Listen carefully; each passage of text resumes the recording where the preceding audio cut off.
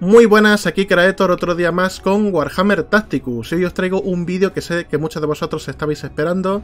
Lo cierto es que yo también me moría de ganas de hablar de él. Y con él me refiero al nuevo personaje en llegar al juego, que no es otro que el Hellblaster de los Ángeles Oscuros, Sarcoel.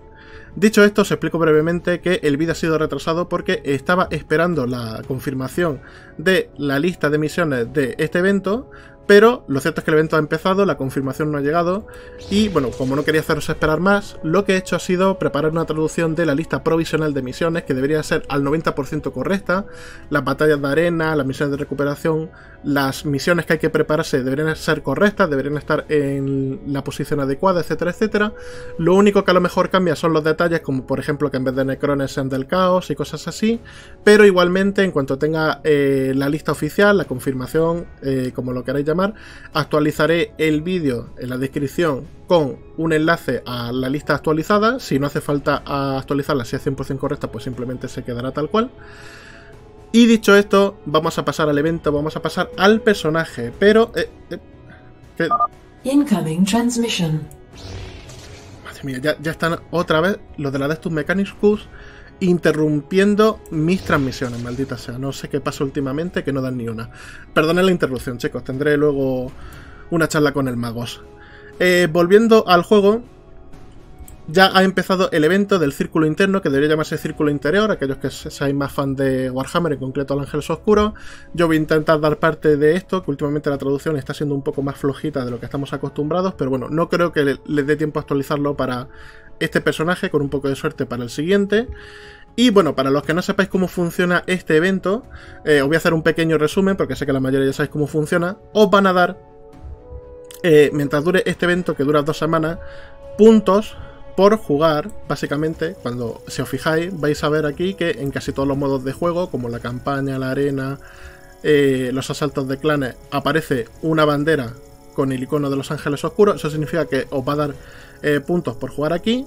Con esos puntos vais a abrir unos cofres y los cofres pues os van a dar eh, eh, estos fragmentos del círculo interno, os van a dar otra serie de recompensas, algunas bastante buenas como la piedra negra y las monedas. Y pues con estos fragmentos vais a desbloquear al personaje y también vais a poder mejorarlo de rareza. No os tenéis que preocupar por conseguir el personaje porque es bastante sencillo. Lo único que tenéis que hacer, aparte de jugar todos los días, que como he dicho, simplemente por jugar ya os va a dar eh, un poquito de puntuación. Lo más importante que tenéis que hacer es completar las misiones, que por eso he compartido al principio esa lista de misiones, que son 20, con una de bonificación adicional, que es básicamente la principal fuente de eh, puntuación, signo de interrogación, para conseguir eh, abrir esos cofres.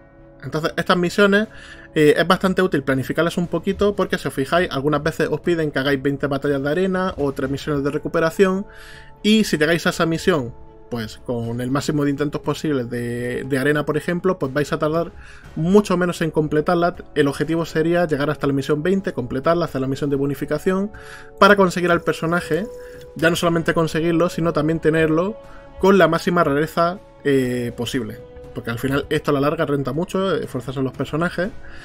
Y bueno, aparte, todos los días por conectar eh, en base a vuestra eh, posición en el marcador, también os va a dar un poquito de signos de interrogación, que a fin de cuentas esto eh, también es puntuación, todos los días. Y obviamente lo más importante es el, propio, personaje Sarqual, Sargento Purga Infierno. Que bueno, creo la traducción de. Creo que Hellblaster no se suele traducir, pero bueno, vamos a dárselo por válido. Y Sarqual, pues, eh, tiene venganza final, que como ya sabéis es que cuando muere, salvo que lo arrasen, va a intentar realizar un ataque normal contra un objetivo al que le pueda disparar, ¿no? De forma normal. Tiene vigilancia, que como ya sabéis, vigilancia la verdad es que es muy útil y eso es que si no dispara en su turno, cuando en el turno del enemigo alguien se mueva dentro de su alcance va a disparar. Y por último tenemos que es un arma pesada, que es un rasgo muy útil, que básicamente inflige más daño si no se mueve, porque vamos, vamos a intentar que este personaje no se mueva, porque entre vigilancia y arma pesada, pues la verdad es que nos interesa que esté quietecito. Tiene una habilidad pasiva que se llama Venganza Sombría que dice lo siguiente. Durante cada turno enemigo, si no hay ningún enemigo adyacente a Sarquael, devuelve el disparo al primer enemigo al alcance que lo ataque a él o a una unidad aliada adyacente de los ángeles oscuros, lo que inflige un impacto de daño de plasma, que ya sabéis que esto se va mejorando según vamos eh, mejorando la habilidad. Y luego tiene una habilidad activa que es supercarga, que inflige un impacto de daño de plasma a un objetivo enemigo dentro de tres hexágonos de distancia, que es bastante distancia, y un impacto de daño de plasma hasta a dos enemigos en hexágonos adyacentes detrás del objetivo. Ojo que tiene que ser detrás. Todo con un 10% de tasa de perforación, o sea que ignora un 10% eh, de la armadura. Y hasta el inicio del siguiente turno de Sarquael, cualquier impacto más que inflija daño de plasma contra esas unidades también tendrá ese 10% de tasa de perforación. Entonces, lo cierto es que es un personaje que se entiende bastante sencillo, es un personaje que lleva un, eh, arma pesada, en este caso un rifle de plasma, que se representa bastante bien.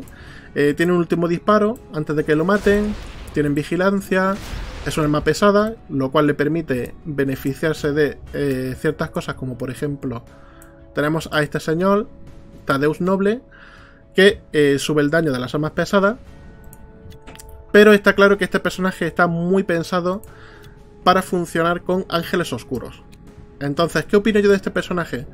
Pues yo opino que este personaje no va a ser malo, pero tampoco va a destacar eh, mucho por encima de la mayoría de los personajes. Creo que va a ser un personaje eh, tirando a mediocre bueno, porque si os fijáis, para sacar eh, mucho uso de su venganza sombría y para sacar mucha ventaja de su habilidad activa supercarga, pues hacen falta dos tipos de personajes personajes con plasma y personajes ángeles oscuros. Entonces, lamentablemente, solamente tenemos un personaje ángel oscuro hasta ahora, que es Azrael. Y pues lo cierto es que su pistola de plasma, pues tampoco es que sea la gran cosa. Azrael es más un personaje cuerpo a cuerpo que un tirador. Y el resto de los personajes que tienen eh, armas de plasma, que no son muchos, pues eh, tampoco son eh, personajes muy buenos, como por ejemplo Tutmos. Entonces yo creo que este personaje tiene el potencial de ser un personaje excepcionalmente bueno conforme salgan saliendo, sigan saliendo ángeles oscuros, que casi todos van a llevar plasma seguro, o, aunque sean de otra facción distinta, algún personaje plasmero que sea realmente bueno.